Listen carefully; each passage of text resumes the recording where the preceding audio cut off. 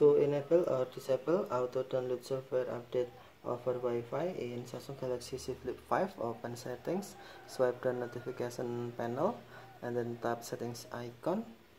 Scroll down settings screen find uh, software update. Next tap software update. And then on auto download over Wi-Fi tap switch until Bluetooth enable or tap switch until to disable. Sorry switch until Bluetooth enable or switch until to disable.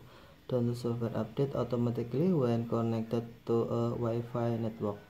Okay, thank you for watching. Have a nice day.